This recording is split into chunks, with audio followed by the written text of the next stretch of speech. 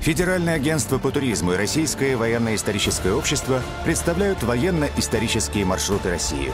Побывайте в местах воинской славы страны. Это незабываемое путешествие по страницам нашей истории. Остров Русский – первая база подводных лодок Российской империи. Ворошиловская батарея – уникальное фортификационное сооружение, занесенное в Книгу рекордов Гиннесса.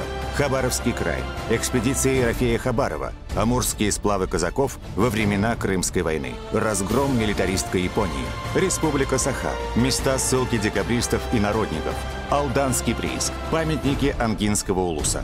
Амурская область – пограничный рубеж России. Амурская флотилия – славная страница истории освоения Приморья. Сахалин – ожесточенные бои с японцами в 45-м, восстановление исторической справедливости. Южный Сахалин и Курильские острова возвращены Советскому Союзу.